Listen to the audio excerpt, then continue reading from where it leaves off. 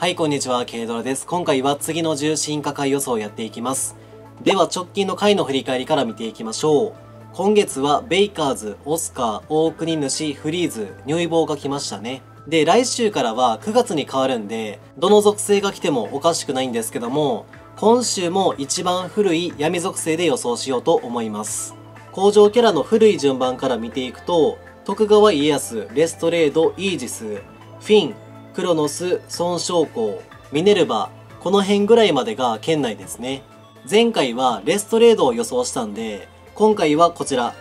孫将校で予想しようと思います。このキャラは実装当時結構強くて、野幕絵集会とかで割と使われていましたよね。では、性能予想していきましょう。貫通の超砲撃型。アビリティが超アンチダメージオール、アンチブロック、超レーザーストップ。ゲージはなし。コネクトスキルでアンチ魔法陣、足封じ M、光属性耐性。SS が自強化プラスレーザーバリア消滅。8プラス8ターン。友情コンボがトライデントレーザー EL と超絶爆破拡散弾。全体的に順当強化しまして、まずアビリティ、レーザーストップが超レーザーストップに、サムライキラーが足封じ M に変わりました。SS は重心化が号令持っているんで、これを引き継ぐ可能性高いんですけども、神化がこちら、自強化プラスレーザーバリア消滅持っていまして、最近この SS、自強化倍率2倍と3倍もらっているんで、結構強いんですよね。なので難しいコンテンツだったらシンプルに自強化の方が使いやすいんですけども、せっかく重心化で、進化神化にはなかった号令がついたんで、重心化回にもつきそうですよね。友情コンボしっかり強化しまして、トライデントレーザー EL と超絶爆破拡散弾。超砲撃だし、足封じ M 乗ってくるんで、これはね、結構火力出ると思います。以上そんな感じで、今回は孫将校一択で予想します。よかったらね、皆さんの予想も教えてください。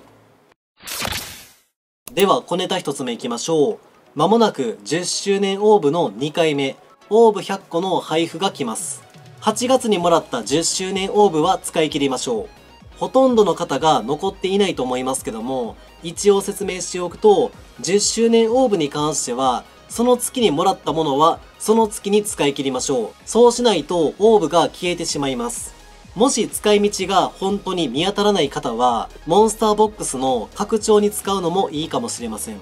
8月もオーブ100個の配布あったとはいえ、すぐになくなっている方もめちゃくちゃ多かったです。それはなんでかっていうと、最近のモンストは基本的に毎月期間限定ガチャのアルファもしくはコラボを開催して、限定キャラも1体以上出すことがほとんどです。8月は通常イベントの泡盛モスコミュールも結構強かったし、劇中新限定の悟りも強かった。後半はコラボアルファ来ましたし、ホップステップ限定ガチャだったり、オールスター感謝ガチャもありました。そんな感じで9月は、例年通り行くならば前半にコラボが来まして、9月末に超重心祭の新限定が出ると思います。他にもオーブを使うイベント来るかもしれませんが、10代恩返しの第6弾はおそらくログインプレゼントビッグなんですよね。これは去年1回だけあったんですけども、忘れてる方がほとんどだと思うんで、一旦ね、これの動画流しておきます。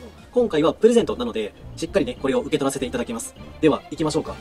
これね、なんかオーブか、その、キャラが出るんですけど、オーブの排出率書いてなかったんですよね。あの、違うか、個数か。あの、袋にオーブが入ってるんですけども、何個入ってるか書いてなかったんで、もしかしたら、ワンチャンス5個とかね、10個入ってるんじゃないかなっていうふうに思ってます。で、限定キャラに関しては、聖徳太子までが限定枠でして、ジャック・ザ・リッパーは入ってませんね。はい。では、行きましょうか。どういう感じこれ？ああ、ポチャンって感じ。あ、なんかめっちゃオーブ、おオーブ多くね？めっちゃオーブ、え、何これ？え？終わり？え、何これ？タップしていい？あ、あ、やっぱそうや、個数。2、3、4、5。あ、5個がマックスかな、じゃあ。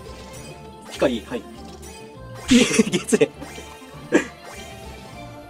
え結構これ引きやばいんじゃない？だってオーブ5個が1、2個かあって、1個が1、2、3、4、5、6かな。なので、オーブ合計11個と、光と月齢がタダでもらえたってことでしょ。これ結構やばいな。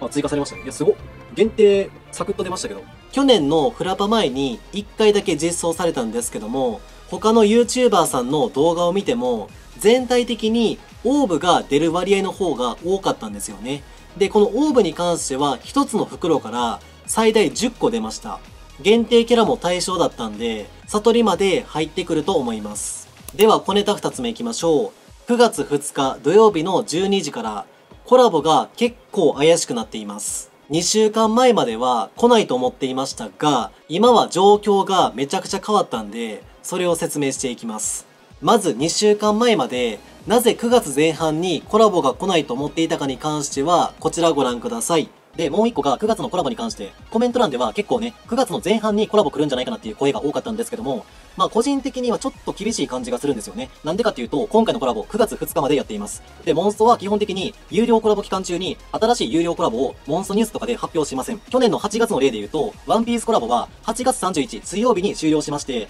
9月1日木曜日のモンストニュースで対バニコラボが発表されました。すなわち、モンストニュースまでにコラボが終了していれば、連続コラボはできるんですけども、今回9月2日までコラボしているんで、多分去年みたいなことはできないと思います。そうなると9月後半なんですけども、それはそれで周年と被るんで厳しいんじゃないかなっていう声も結構あります。おそらく今年の周年放送は、モンストグランプリの決勝大会が9月30土曜日と10月1日日曜日に決まっているんで、そこで行われると思います。なので、若干周年と被っちゃうんで、もし後半コラボ来た場合は、9月27ぐらいに早めに終了して、ちょっと調整するのか、もう1個の可能性としましては、まあ、今年2回目ですけども、劇中震災コラボを開催して、9月中旬で終了させる。そうすると、9月の後半に毎年恒例の超重震災新検定も出しやすいと思います。そうか、もう1個の考え方としましては、今回ね、先ほども話しましたけども、コラボアルファなので、本来のコラボ扱いではなく、アルファ扱いだった場合は、多分ね、連続コラボはできる可能性あるんですよ。そこまでは読めないんで、もし9月前半にコラボ来た場合は、多分今回コラボアルファだったからできたんじゃないかなと思います。2週間前にこういう話をしていましたが、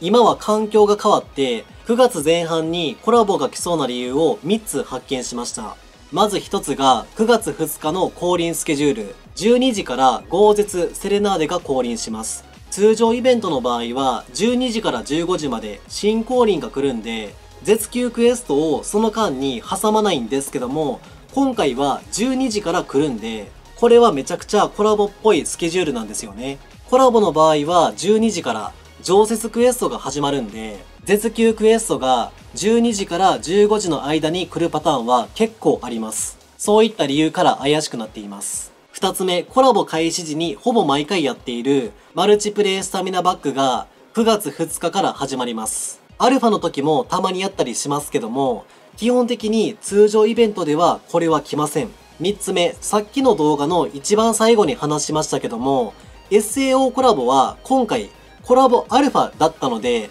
扱いとしてはアルファかもしれないんですよね。イベントを大きく住み分けすると、通常イベント、コラボ、アルファなんですけども、モンスト側がアルファとして扱うのであれば、ユーザー側からすると連続コラボなんですけども、それが可能なんじゃないかなと思います。多分コラボアルファは運営側からすると結構コスパいいんですよね。なんでかっていうと、キャラのピックアップ作らないし、アニメ側の進行がもうないアニメともコラボできますし、もし今回連続でコラボできるんであれば、今後もコラボアルファを開催する可能性は結構あると思います。去年のタイバニコラボの無料50連に関しては、ミクシーがスポンサーだったんでおそらくできたんですけども、今年ね、もしコラボ来るんであれば、無料50連は厳しいでしょうね。オラゴンロボだったり、10周年オーブでも配っているんで、無課金、美課金の方は、それで対応するしかありません。とりあえず次のニュースが楽しみでございます。以上そんな感じで本日もご視聴ありがとうございました。ぜひ高評価、チャンネル登録お願いします。それではバイバイ。